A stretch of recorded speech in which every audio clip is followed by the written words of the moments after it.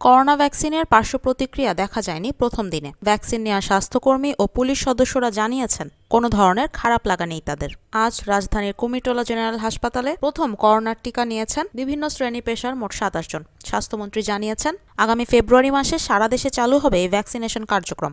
উন্নত বিশ্বের মতো করোনা নিরাময়ে প্রতিষেধক ব্যবহার শুরু হয়েছে বাংলাদেশে, যদিও পার্শ্ব প্রতিক্রিয়া নিয়ে সংশয় ছিল কারও কারও। প্রথম ভ্যাকসিন গ্রহণকারী কুর্মিটোলা জেনারেল হাসপাতালের স্বাস্থ্যকর্মী রুনো ভেরোনিকা কস্তা জানান, আট দশটা টিকার মতোই স্বাভাবিক এই প্রতিষেধক। শারীরিকভাবে এবং মানসিকভাবে আমি পুরোপুরি সুস্থ আছি।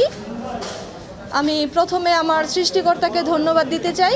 পাশাপাশি আমি মাননীয় প্রধানমন্ত্রীকেও ধন্যবাদ দিতে চাই।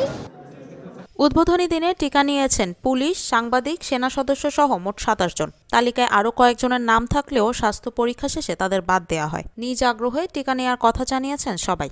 প্রথম দিনে টিকা নেওয়ার পর কারও কোনো পার্শ্ব প্রতিক্রিয়া দেখা যায়নি। আমার কোনো পার্শ্ব প্রতিক্রিয়া হয়নি কোনো ধরনের আমার অস্বস্তিও লাগছে না। আমি মনে করি যে ভ্যাকসিনটা আমাদের জন্য একটা আশীর্বাদ হয়ে বাংলাদেশে এসছে। আমি টিকাটা দেওয়ার সময় শুধু যে সুচ ঢুকলে যেটা হয় একটু পিঁপড়া কামড়ানোর মতো ব্যথা হয় এরপরে আর কিছু বুঝিনি। সবাই যেন এটা দেখেও হাজারো মানুষ যেন অনুপ্রেরণা হয় এবং তাদের জন্য বিষয়টা সহজ হয়ে দাঁড়ায়। সে আশা রাখছি গুজবে কান দিবেন না। লেটস ট্রাইট ফার্স্ট ইনশাআল্লাহ। ভ্যাকসিন দেওয়ার পরে আগের মতোই মনে হচ্ছে আগে যেমন ছিলাম নর্মালি মনে হচ্ছে। তেমন প্রবলেম কিছু মনে হয়নি। প্রথম দিনেই সংশয় দূর করতে টিকা নিয়েছেন স্বাস্থ্য অধিদপ্তরের দ্বিতীয় সর্বোচ্চ কর্মকর্তা, অতিরিক্ত মহাপরিচালক নাসিম আক্তার। তিনি বলেন, বরাবরই মানুষের আস্থা অর্জন ও সেবা দেওয়ার কাজ করেছে স্বাস্থ্য বিভাগ। আমি যদি ভ্যাকসিন না নিয়ে অন্যদেরকে ভ্যাকসিন নিতে বলি, সেটা হয়তো একটা সঠিক হবে না।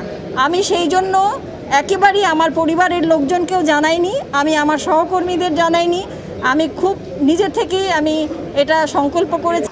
অনুষ্ঠান শেষে স্বাস্থ্যমন্ত্রী জানান, সারা দেশে ভ্যাকসিন প্রয়োগের সকল প্রস্তুতি নেওয়া হয়েছে। আগামী মাস থেকেই তা চালু হবে। সাত তারিখে আমরা সারা দেশব্যাপী ভ্যাকসিন কার্যক্রম শুরু করার ব্যবস্থা হাতে নিয়েছি। বিয়াল্লিশ হাজার কর্মী কাজ করবে। উপজেলা, জেলা এবং মেডিকেল কলেজে আমরা ভ্যাকসিন দেওয়ার ব্যবস্থা করেছি।